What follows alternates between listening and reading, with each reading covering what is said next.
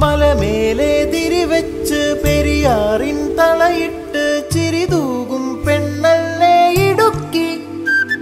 ഇവളാണിവളാണ് മിടുമിടുക്കി. മലയാളക്കരയുടെ മടിശീല നിറയ്ക്കണ നലമേറും നാടല്ലോ Idukki. ഇവളാണിവളാണ്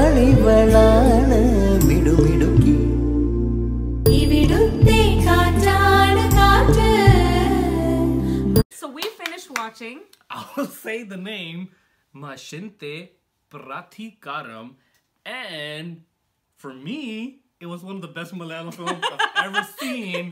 Fahadh Faasil killed it. For me, it was a decent film. By decent, I mean it was good. Like it was good, but I wouldn't say that for me it was like like film? the best that I've seen because I've seen a lot of other Malayalam films that I felt like were a, a little bit more better than this. I mean, film. I've seen better Malayalam films, but I'm saying like if you just look at the story and the acting and everything, I don't know. I really like the story. I really like the film. It, it was one of those films. After watching it, you think about it. You want to talk about it. Mm-hmm. And I was like trying to like you know talk to her about it. She was like, oh, "That was so good. That was so good." I was like, "No, that was good." No, no, no. Let me explain myself. So it was very simple, and there were just a lot of parts where I felt like, you know, we were kind of slow. You know, I just felt like it was just it would just pick up a little bit faster.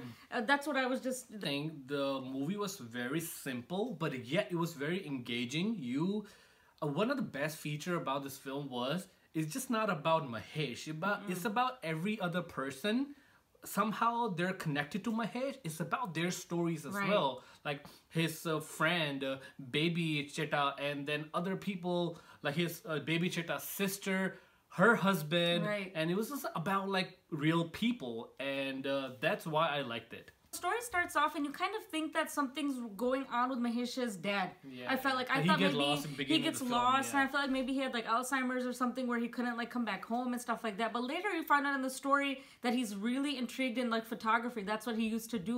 And th- that's one of the things, like, you know, when uh, Mahesh finds them in the forest and they don't show anything No. after that, but you get a, you, they show that towards the end what he was doing in the forest. Yeah. That's why I like the film, how everything was just connected within the film. And uh, when Mahesh was at his low, when he had lost all his motivation, he Because the love of his life married somebody yeah, else. and I think that part was very interesting because they wanted to marry each other, and something very tragical happened with him where he was he was very embarrassed. He felt weak. He felt like I'm nobody, and because the whole part was very interesting.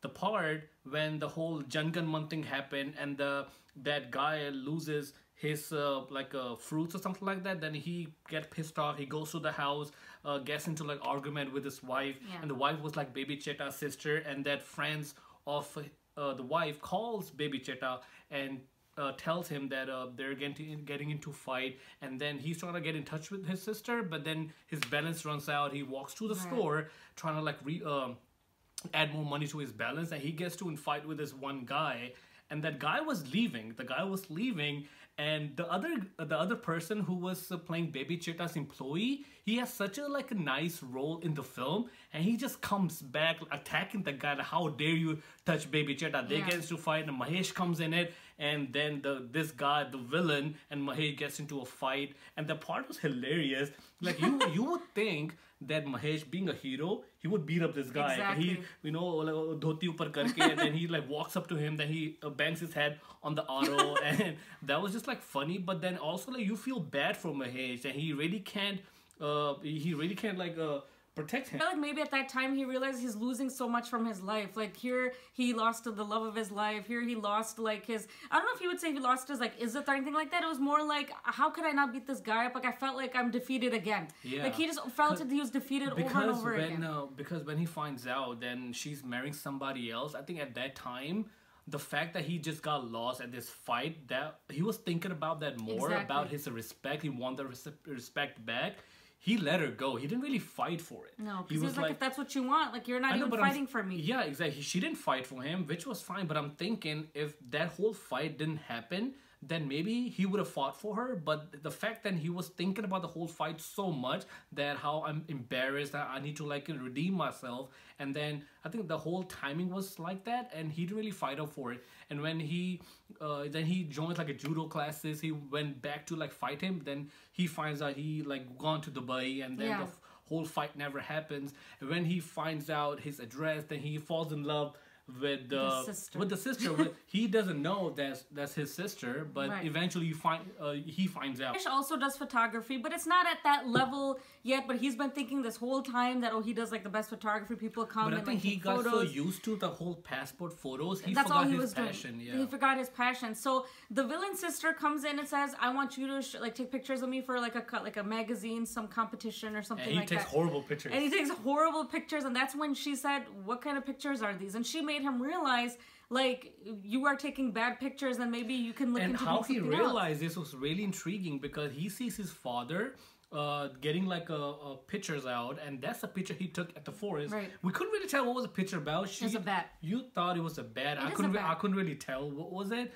But uh, then I think he realizes uh, I need to do this too. I like I have it in, within me, and I can. I, I just have to find out. And with the help of the employee, he takes really good pictures of that girl and eventually they falls in love eventually she tells him that i'm jimsy's sister and i know the whole thing that's going Right. on i don't have problem with that but uh, if you try to forget about it and then we can be together stuff like that No, but she tells him to fight him. no, she no, she doesn't tell him to fight him. She, I think she tells him that uh, like move on and everything. Then something about that. She doesn't tell No, him to I fight feel him. like a part of it. No, no, no. I think what I think she says, like, you know, I, I'm just letting you know that I'm the sister, But and I- if you want to take care of like whatever you're. no, no, I don't think that happened. I think she just tells him to move on and everything. But now he, he him he's thinking Oh, that either I move on and I swallow my pride and marry this girl, like you know, basically like bow down to this guy, ask for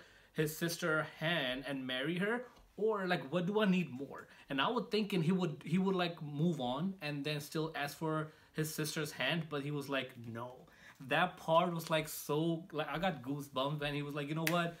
Forget this. I want my him. respect. I want my respect gonna back. I fight him. want the baby Cheta to look in my eye and be like, I'm so proud of you. That he goes to fight him and he wins. And he wins the respect from everybody. And then first thing he does before anything, he goes to the store, be like, let me get that chappal, Yep. eight size, and he gets his respect back. And that and the movie doesn't end there. He goes to the hospital, and then he, and his mother was like, uh, uh, "What are you doing here?" He was like, "What are you doing here?" Then he tells him, "You know, I'm in love with your sister.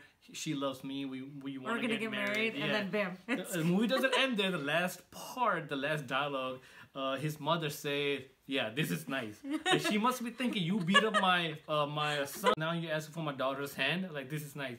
The movie just kind of ends there. They do show at the credit and like them romancing and They're like Uh, they're happy now they're married, and it kind of really shows that uh, sometime in life, like you know, just because like one relationship doesn't work out, it's not the end. You know, like sometimes you meet other people, and sometimes you know that works out. I think the film is very simple and has a lot to do with him finding himself. It has a lot to do with sometimes certain people come into your life and they bring out something that someone else couldn't. Yeah. You know, so he found out that he his passion for photography has always been there, but it was hidden. He found out that you know this girl like changed his life completely, and maybe this is a definition of true love. And I feel like he finally understood his dad better too.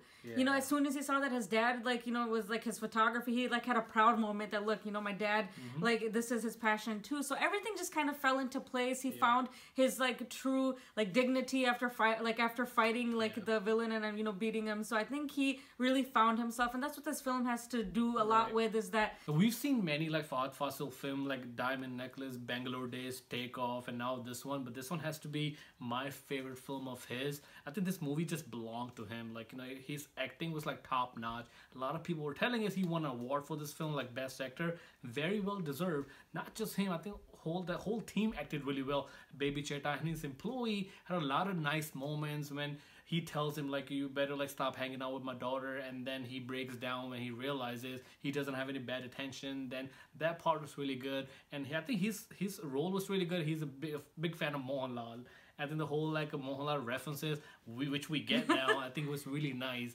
and i think a lot like a lot of like very light moments. It just makes you smile. It did. And yeah, so in that sense, that that's why I really like this film. Thank you. Overall, like I say, amazing film. Really enjoyed it. I liked it decent for me. Do let us know what was your favorite part from the film. If you like this video, give it a thumbs up, subscribe to our channel, follow social media. Keep sending your requests, guys. Bye guys, take care. Bye.